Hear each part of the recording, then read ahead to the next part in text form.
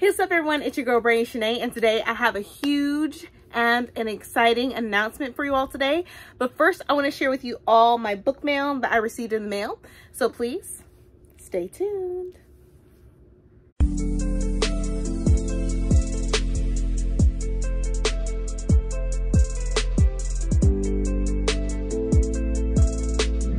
And I'm back. So like I said, I have a huge announcement that I want to announce to you all. Um, but first, I, like I said, I want to share with you all of my book mail uh, and some bookish mail that I received first. Um, so you have to wait till the end for the huge and exciting announcement. Um, so the first thing is um, a package from um, Amazon.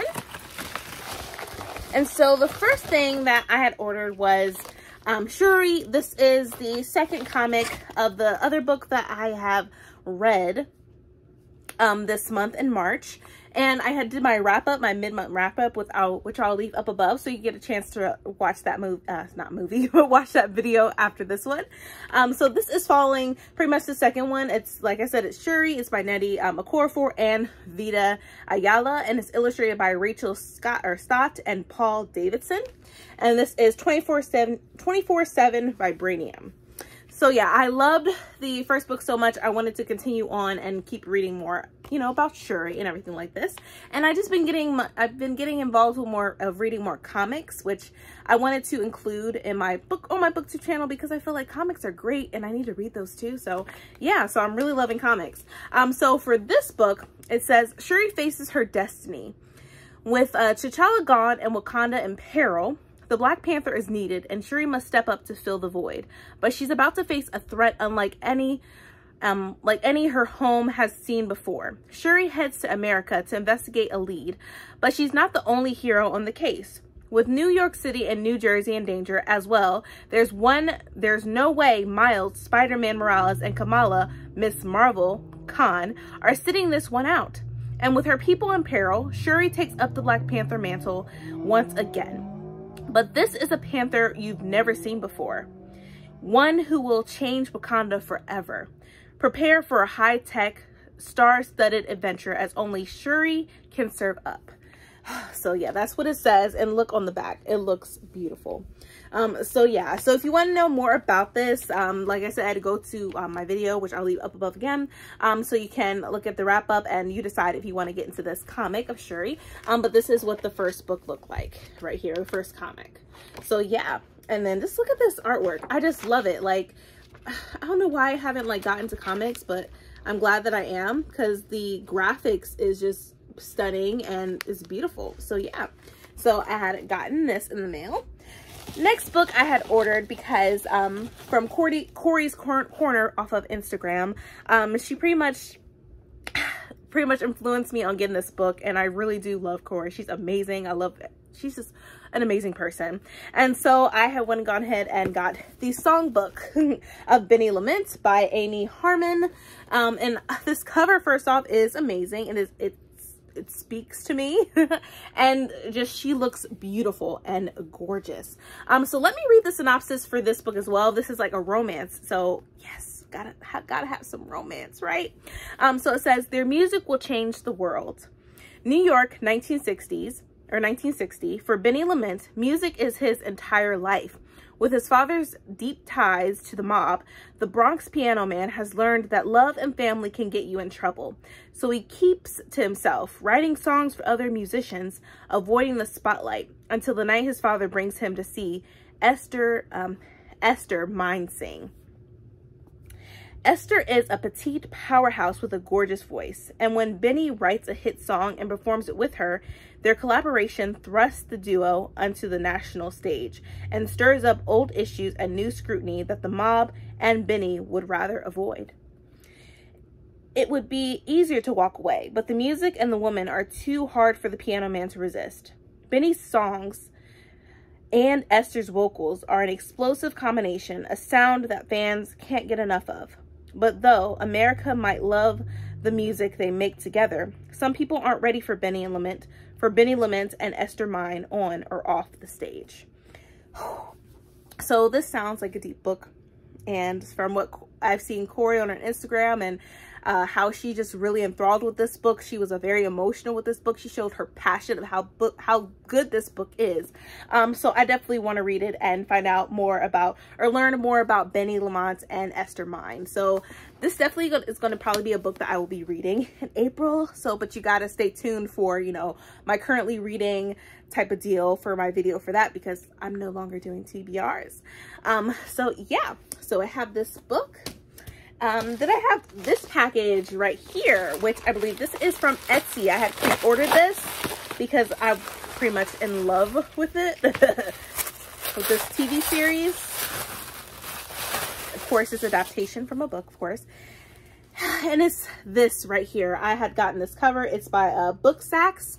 Um, and I pre-ordered this. This is about the Bridgerton series, you know, and the first, so we're having a second season is coming, you guys, if you haven't, if you don't know, which I do believe you do. I was like, I watch Bridgerton all the time. I've watched it, I don't know, like countless times watching it. And so like, I gotten this because I loved it. And then I read the book itself and I love the book. So I'm like, okay, I'm just going to keep reading this. But I feel like with the books, I'm probably going to read the book um, after the second season. Um, is you know after I watch the second season I'm gonna read the book like I did the first book. Um so I will do a reading vlog for the second book as well which I believe is for Anthony who is the oldest of the Bridgerton children. Um but yeah so whew, you just got all the beautiful characters. You got Daphne um oh my goodness you just got everybody. It says the brighter a lady shines, the faster she may burn. Of course, that was said by Miss Whistledown. Um, and then from Simon, I burn for you on there. And one says, we shall do what women do. We, it says, we shall do what women do. We shall talk.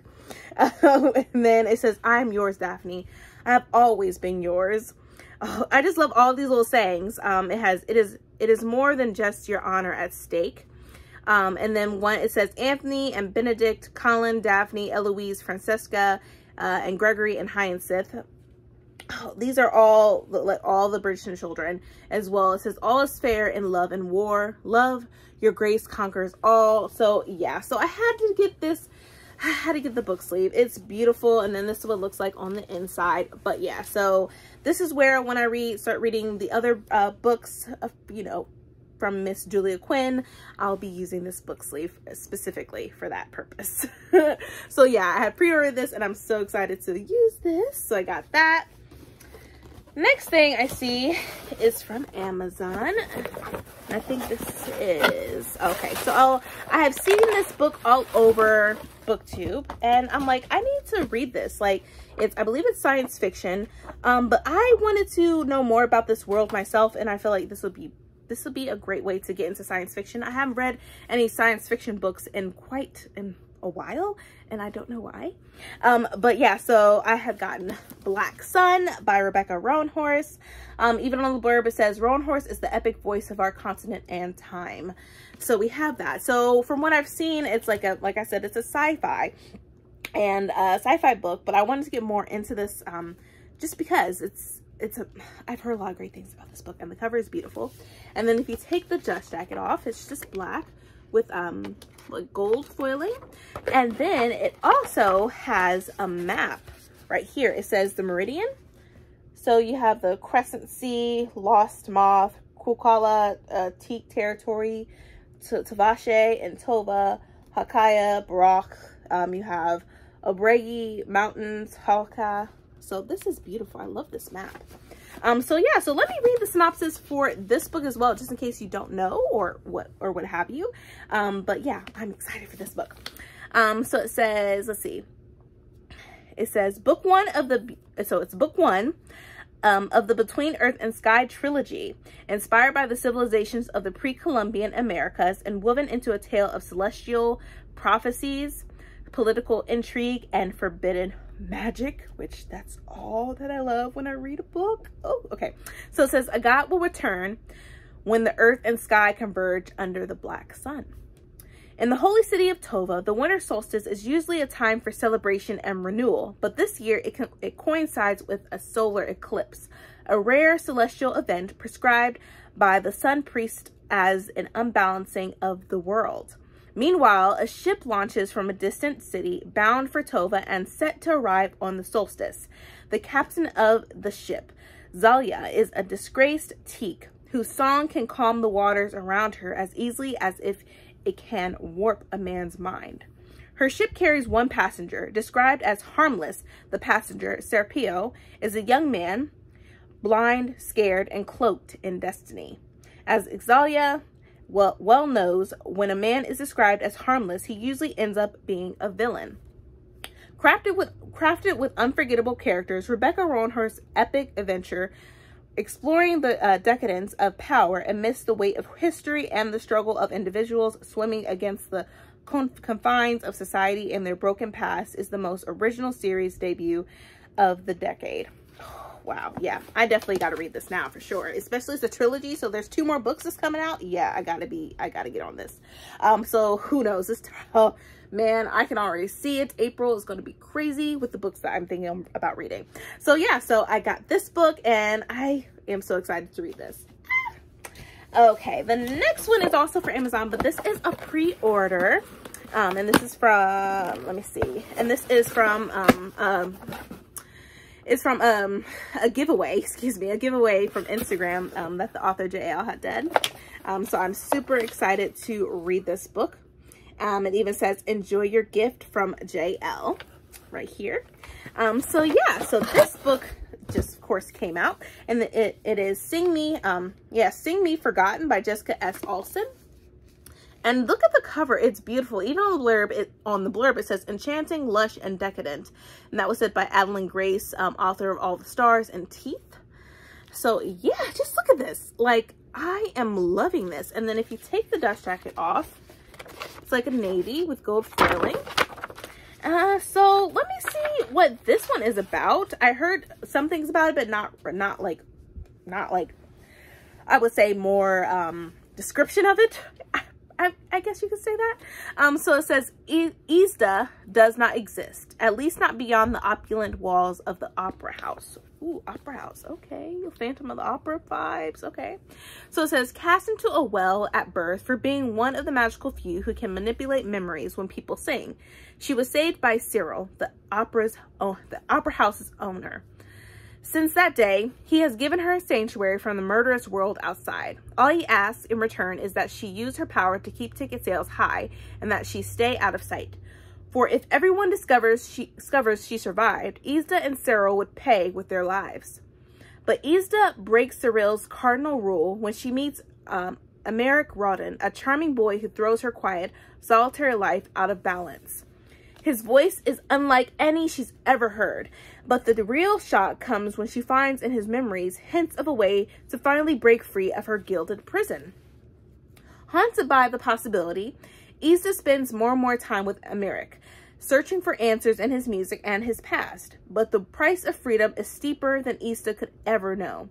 For even as she struggles with her growing feelings for Emeric, she learns that in order to take charge of her own destiny, she must become the monster the world tried to drown in the first place. Wow, that sounds deep. Yeah, opera. Okay, this is, yep. Good gracious, April. and it's right around the corner. Um, but yeah, this book sounds amazing. I'm definitely looking forward to reading it. And even on the back, it says, they think they can keep me here, that the darkness will break me. They forget I was raised in the darkness, that I've been imprisoned my whole life. They can threaten me with blade or poison or death, but they cannot make me afraid. Not anymore. So yeah, Isda sounds very empowering um, and I need that in my life. So yeah, so I got this book and I cannot wait to read this as well. Uh, let's see. Next one here. Uh, I had ordered this. Um, I think this is from, where is this from? From Box Lunch. Um, yes, I do collect uh, Funko Pops now and then if I do see something that I just really need to get. And this was one that I really needed to get because, yeah, like, I love this character so, so much. Um, she has changed a lot of things. Like, I just love the movie altogether. So, yeah, so here is the box. And if you open it, it is Princess Tiana and Naveen. This is the pretty glitter version of it. Um, so yeah, I had to get this Funko Pop because of course I love Princess Tiana. Um, she's our first black um, Disney princess, which I really do like, I love. So watching Princess and the Frog when it came out, I was just in awe with it. I was just, I was crying because I finally got to see me in a movie, uh, you know, so yeah, I had to get it. So yeah, she's with glitter with Prince Naveen as a frog. So yeah, like I said, I collect Funko Pops now and then, not like all the time. I used to do it all the time, but then I was like, I need to slow down because I'm getting too addicted to Funko Pops for some reason. Um, but yeah, so yeah, so I had to get Princess Tiana. So I got that. Um, let's see. I think I have one more package that I want to share with you all before the announcement. And I think I had gotten this. This came from um, Macmillan. Um, so let's see what's inside of this one right here. Okay.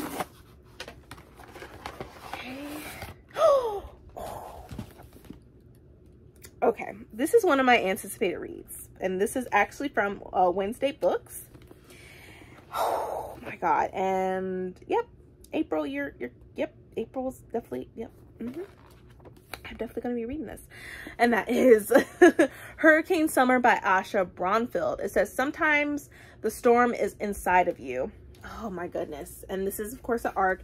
This comes out may this year so definitely pre go ahead and pre-order it if you like to do so. But yeah but i feel like what got me the most was the cover. It's beautiful. It's enticing. I love how it looks like she's she's in she's in the rain and she has that flower. It's just stunning. So yeah. So let me read the synopsis for this one because this sounds this looks amazing. Um so it says um Tilla has spent her entire life trying to make her father love her, but every six months he leaves their family and returns to his true home, the island of Jamaica. When Tilla's mother tells her she'll be spending the summer on the island, Tilla dreads the idea of seeing him again, but longs to discover what life in Jamaica has always held for him. In an unexpected turn of events, Tilla is forced to face the storm that unravels in her own life as she learns about the dark secrets that lie beyond the veil of paradise all in the midst of an impending hurricane.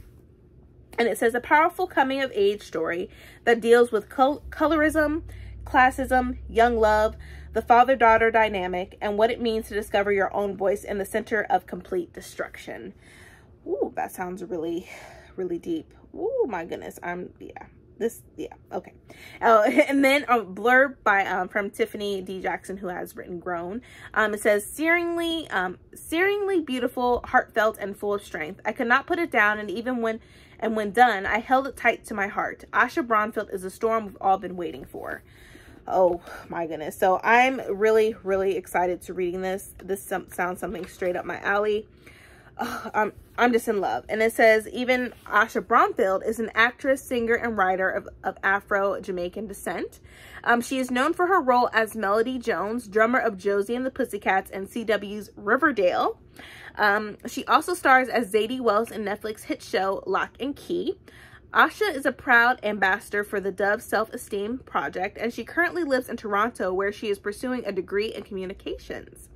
Um, in her spare time, she loves studying astrology, wearing crystals, burning sage, baking baking vegan desserts, and taking walks to the park with her dogs, Luca and Kyra. Hurricane Summer is her debut novel. Oh my gosh.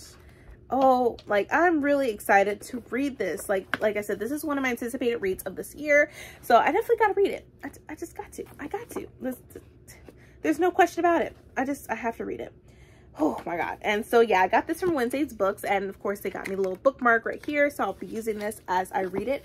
So april uh you got uh, april.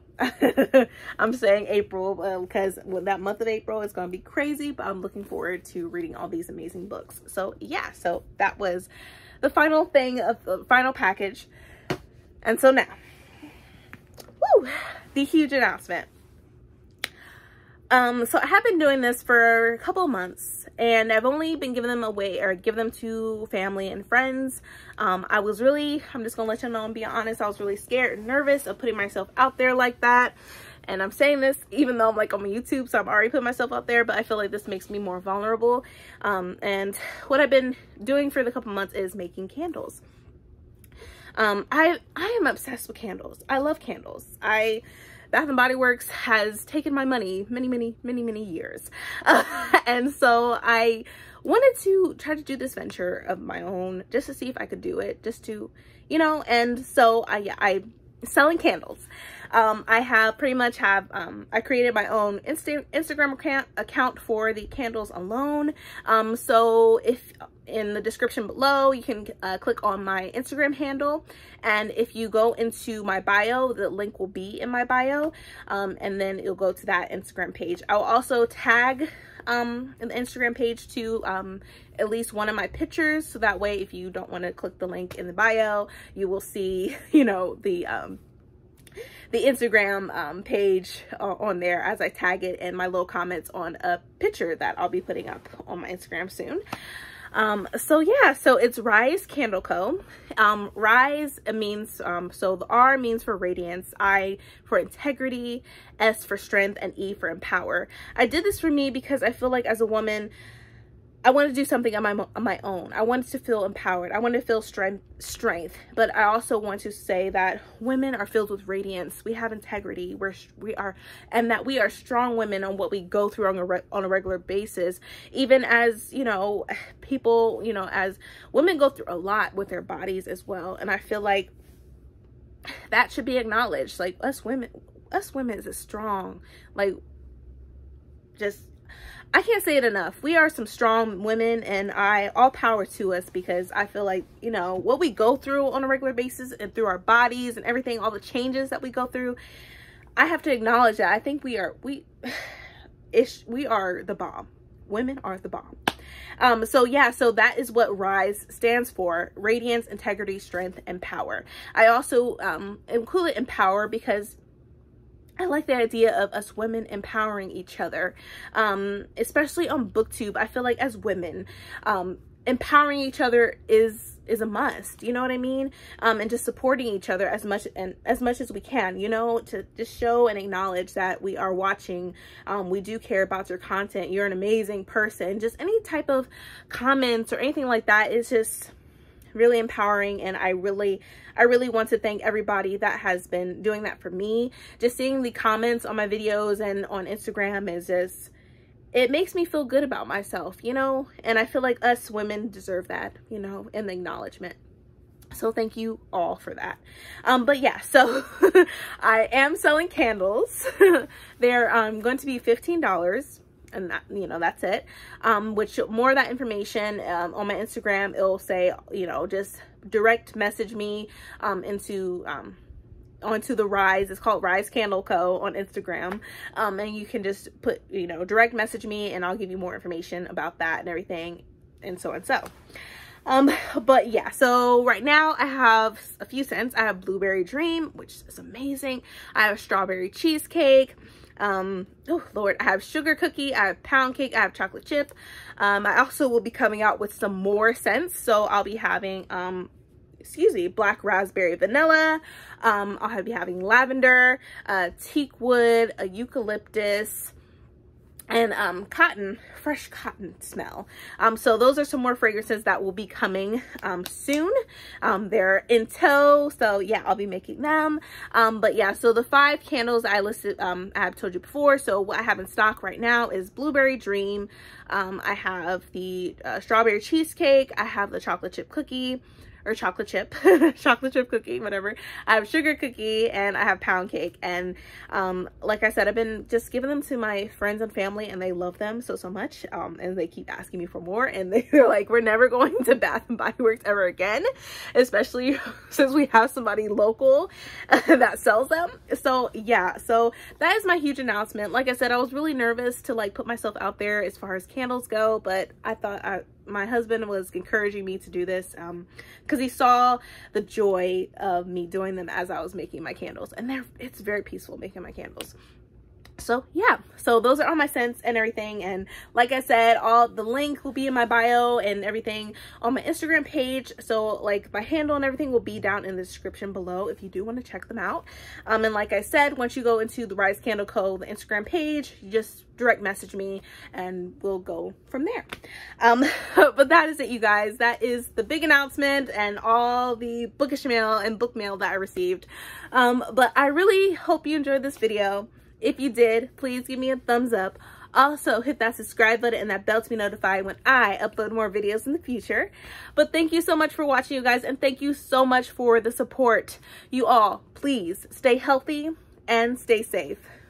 See ya!